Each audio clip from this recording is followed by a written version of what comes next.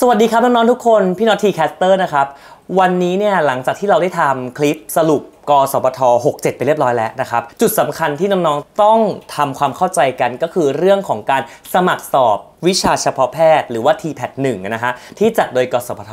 ทำไมพี่เราต้องทำคลิปแยก มันมีรายละเอียดบางอย่างครับ ที่ยิบยับซับซ้อนมากๆเลย แล้วน้องๆเนี่ยห้ามทำผิดกติกาที่เขาบอกแม้แต่นิดเดียว เพราะถ้าน้องทำผิดด้วยตัวน้องเอง ทางกสปทยืนยันมาตอนแถลงข่าวเลยครับ ว่าเขาจะไม่มีการปราณีเคสไหนเลย ถ้าไม่ใช่ความผิดที่เกิดขึ้นจากระบบของเขา ดังนั้นวันนี้เป็นการดีที่น้องๆ จะต้องมารู้จักกับการสมัครสอบ TPAT 1ความถนัดแพทย์กสปทครับ อย่างแรกที่พี่ต้องพูดเลยก็คือในเรื่องของเอกสารที่ใช้ในการสมัครสอบนะครับตัว TPAT 1นะครับหรือว่ากสปทนี้นะครับก็ต้องบอกว่าแบ่งเป็น 2 กลุ่มแล้วกัน กลุ่มที่เป็นเอกสารที่ทุกคนต้องใช้ ไม่ว่าจะอยู่เคสไหนก็ตาม กับอีกแก๊งหนึ่งก็คือเราต้องพิจารณาเป็นเคสไปว่าใครต้องใช้เอกสารอะไรบ้างนะครับกลุ่มแรกคือกลุ่มเอกสารทั่วไปที่ทุกคนต้องใช้ไม่ว่าจะใครก็ตามเด็กซิ่วหรือเด็กไม่ซิ่วหรืออะไรก็ตามนะครับ อย่างแรกคือ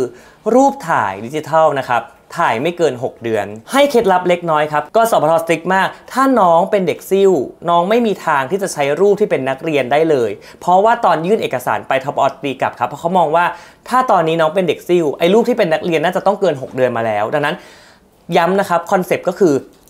เรื่องของรูปถ่ายเนี่ยถ้าเป็นนักเรียนใส่ชุดนักเรียนพื้นหลังเป็นสีพื้นนะครับ ส่วนคนที่เป็นเด็กซิ่วทุกเคส ไม่ว่าจะซิ่วเรียนต่อไหมหรือยังไม่ได้เรียนต่อหรือซิ่วกับบ้านต้องเป็นชุดสุภาพเท่านั้นครับ อันที่2นะครับคือไฟล์สำเนาบัตรประชาชนด้านหน้านะครับ ก็ลงลายมือชื่อรับ รองสำเนาถูกต้องให้เรียบร้อย play safe นิดนึงครับ ให้ใช้วิธีการปิ้นออกมา แล้วก็เขียนด้วยปากกาว่าสำเนาถูกต้อง แล้วค่อยอัปโหลดขึ้นไป อันนี้จะ play safe ในส่วนของการตรวจเอกสารเนาะส่วนต่อมาครับ ถ้าเกิดใครมีการเปลี่ยนชื่อสกุลนะครับเพื่อหลบหนีเจ้าหนี้ไม่ใช่นะคะ คิดว่าไม่ได้มีใครหลบหนีเจ้าหนี้นะไว้ตอนนี้นะฮะใครเปลี่ยนชื่อสกุลต้องมีเอกสารการเปลี่ยนชื่อสกุลด้วย แล้วก็สุดท้ายคือสำเนาวุฒิการศึกษาที่เขามีการ request อันนี้คือทุกคนเขาจะต้องใช้กัน ทีนี้เอกสารในกรณีต่างๆนะครับก็จะแตกต่างกันไปตามระดับชั้นนะฮะอันแรกคือผู้สมัครทั่วไปนะครับถ้าเป็นม .6 เนี่ยกำลังเรียนอยู่ม .6 ยังไม่มีใบจบ ก็จะใช้ใบปพ7ที่มีตาโรงเรียนเป็นการยืนยันว่าเออเรากำลังศึกษาอยู่นะ แต่ถ้าเป็นเคสที่จบม .6 แล้ว เราก็จะมีใบปพ1ตัวเต็มเนาะก็คือที่มีเกรด กับตัวใบปพอ2คือประกาศนียบัตรที่จบม .6 อันนี้ใช้เป็นการยืนยันว่าตัวเองเนี่ยมีคุณสมบัติเพียงพอที่จะสอบใน t p a t 1หรือเปล่านะฮะส่วนที่ 2สำหรับเด็กซิ่วที่ไม่เกินปี 1 อันนี้เขามีในส่วนของสำนักบัตรนิสิตให้แนบเข้าไปด้วยนะครับส่วนเด็กซิ่วเกินปี 1 ต้องมีใบอนุมัติลาออกภายในวันที่สภากำหนดอย่างที่เราได้บอกไปนะครับแล้วล้วก็สุดท้ายคือเด็กซิ่วที่ เรียนจบหรือกำลังจะเรียนจบ ถ้ากำลังจะเรียนจบต้องมีใบรับรองว่าจะเรียนจบปีนี้จริง ๆ ถ้าใครที่เรียนจบแล้วต้องมีสำเนาตัวปริญญาบัตรที่เราสำเร็จการศึกษาแล้วนั่นเองสำหรับการสมัครสอบสมัครที่ไหนนะครับก็สมัครที่เว็บไซต์นี้เลยของทางทปอเนาะก็ search เข้าไปตามนี้ได้เลยนะครับและอย่าลืมครับในกระบวนการสมัครมันจะมีขั้นตอนต่างๆ ที่เขามีออกมาให้สมัครใช่ไหมครับแต่ความพิเศษของกสปทคือ น้องสมัครเสร็จแล้วนะครับจะต้องชำระเงินนะครับใช่ไหมพอชำระเงินเสร็จแล้วมันไม่ได้จบแค่นั้นครับ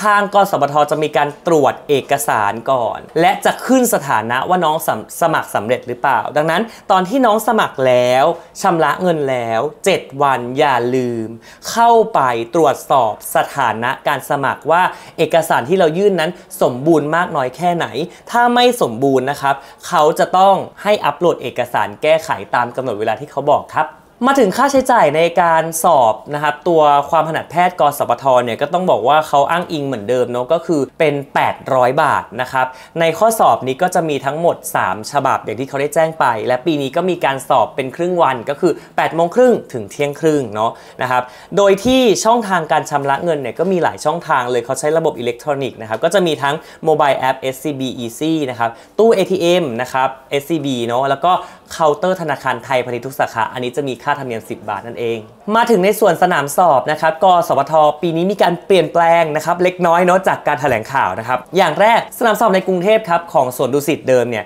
เขาอาจจะมีแนวโน้มในการเปลี่ยนแปลงเป็นโรงเรียนสามเสนวิทยาลัยนะครับอันนี้เดี๋ยวเขาจะมา confirm อีกทีนะครับสสัปดาห์ก่อนที่จะมีการสมัครสอบอีกครั้งนะฮะและสิ่งที่เป็นโอกาสเพิ่มขึ้นมากับน้องๆภาคอีสานเนาะคือ ทางมหาสารคามได้มีการเพิ่มนะครับ ที่นั่งเพิ่มขึ้นมานะครับเป็นในส่วนของขามเรียงเนาะประมาณ 2,000 ที่นั่ง ก็ถือว่าเป็นโอกาสให้กับน้องๆนะครับได้ไปสอบนะครับความถนัดแพทย์ทีแพทหนึ่งกสบทได้มากขึ้นนั่นเอง และนี่คือทั้งหมดทั้งมวลนะครับในภาพรวมของการสมัครสอบที่แพทหนึ่งหรือวิชาความถนัดแพทย์ใครต้องการเรียนนะครับ แพทย์เภสัชทันตสตวะ และต้องการรับนะครับการสมัครนะครับเข้าสู่กสพทนะครับก็อย่าลืมสมัครทีแพทหนึ่งความถนัดแพทย์เพราะใช้ถึง 30%สำคัญมาก ๆ เลยนะครับ ยังไงขอให้น้องๆทุกคนที่สมัครสอบนะครับตรวจสอบเอกสารดีๆ มีสติในการสมัครสอบ แล้วก็ขอให้โชคดีประสบความสำเร็จในคณะและมหาวิทยาลัยที่ตั้งใจสำหรับวันนี้พี่น็อตลาไปก่อนแล้วนะครับ สวัสดีครับ